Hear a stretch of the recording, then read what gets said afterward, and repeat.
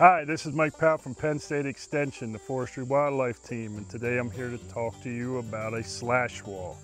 A slash wall is an alternative to deer fencing. It's an exclosure and it's made up of natural material left over from a timber harvest.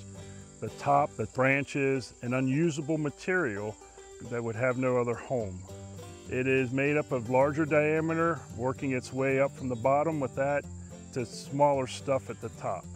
So you might be wondering, what are we trying to exclude from this area? And that is deer. Because the deer will eat the regeneration, which is small trees that are coming back up from stump sprouts and or the seed, and native plants that are beneficial for other wildlife. The benefits of a slash wall.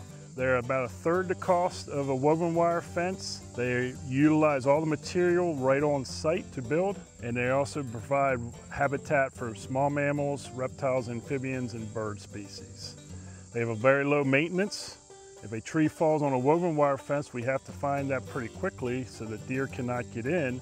If it falls on here, it's not really gonna bust down the wall and we can incorporate that material back into the wall.